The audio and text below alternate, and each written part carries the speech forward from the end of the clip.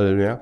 매일 성경과 함께하는 오늘의 묵상 노트 말씀은 요한복음 1장 1절부터 8절 말씀입니다. 요한복음 제 1장 태초에 말씀이 계시니라 이 말씀이 하나님과 함께 계셨으니 이 말씀은 곧 하나님이시니라 그가 태초에 하나님과 함께 계셨고 만물이 그로 말미암아 지은 바 되었으니 지은 것이 하나도 그가 없이는 된 것이 없느니라. 그 안에 생명이 있었으니 이 생명은 사람들의 빛이라. 빛이 어둠에 돼 어둠이 깨닫지 못하더라. 하나님께로부터 보내심을 받은 사람이 있으니 그의 이름은 요한이라. 그가 증언하러 왔으니 곧 빛에 대하여 증언하고 모든 사람이 자기로 말미암아 믿게 하려 함이라. 그는 이 빛이 아니요 이 빛에 대하여 증언하러 온 자라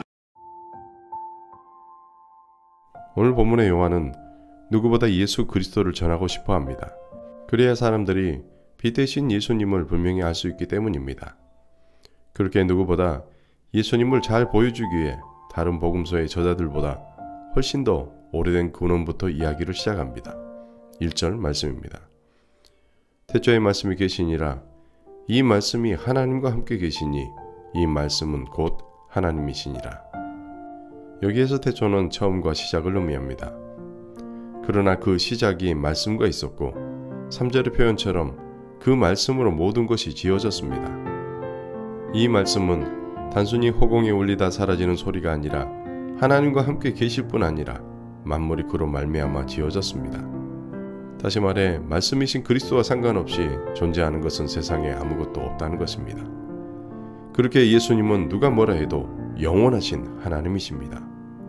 이 하나님에 의해 모든 것이 창조되었습니다. 이것은 세상에 존재하는 모든 것은 결코 우연이 없다는 것입니다. 하나님의 창조에 의해 모든 생명이 생겨났으며 이러한 모든 창조의 중심에 예수님이 계신다는 것입니다. 이것은 우리가 믿는 예수님은 이론도 관념도 아닌 실존하신 하나님이시라는 것입니다. 단순히 우리의 지식과 경험 안에 머무르는 하나님이 아니시라는 것입니다. 그렇게 예수님을 나의 지식과 경험 속에 가두어 두지 마십시오. 나에게 허락하신 하루하루의 삶 속에서 살아계신 하나님의 실존을 경험하시길 주의 이름으로 축원합니다. 태초에 말씀이 계셨고 그 말씀이 곧 하나님이십니다.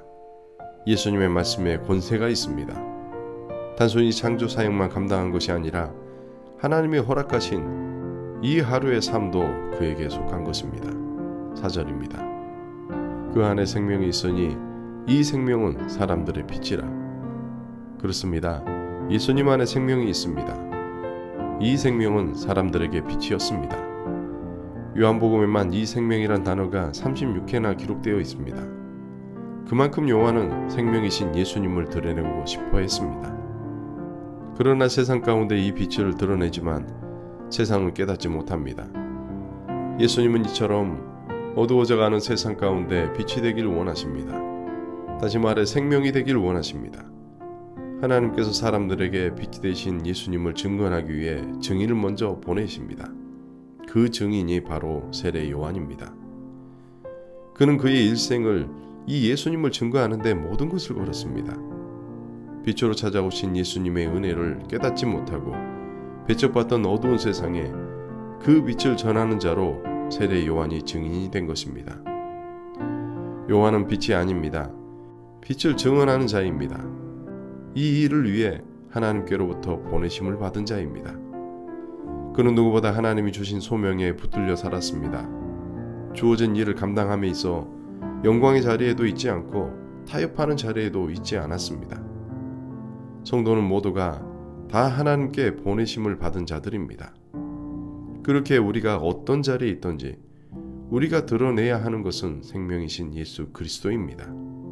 뿐만 아니라 아무리 빛으로 오신 예수님이라 할지라도 죄로 어두워진 세상은 깨달을 수 없습니다. 이것은 우리에게도 동일하게 적용이 됩니다. 우리가 아는 예수님이 아무리 실존하신 예수님이라 할지라도 죄로 어두워진 마음에는 살아계신 하나님을 경험할 수 없습니다. 한낱 지식과 경험에 제한된 허상에 불과합니다. 기억하십시오. 신앙은 이론이 아니라 체험하고 실존하는 것입니다. 단순히 막연한 존재가 아닙니다. 우리가 하나님을 볼 수 없지만 누구든지 예수님을 통해 하나님의 실존을 경험하게 됩니다.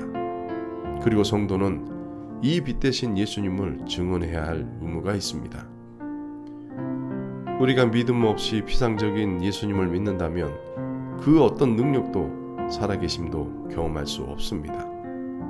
그렇게 하나님이 허락하신 이 한 해도 이 하루도 예수님을 통해 살아계신 하나님을 경험하는 은혜가 있기를 주님의 이름으로 간절히 기도합니다.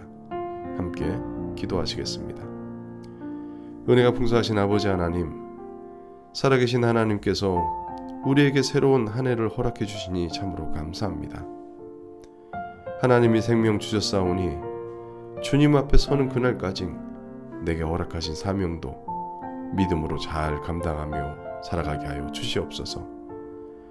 날마다 우리에게 허락하신 생명을 누리게 하시고 세상이 아무리 어두워도 성도답게 그 생명을 증언하는 삶을 살게 하여 주시옵소서. 감사드리며 예수님의 이름으로 기도합니다. 아멘.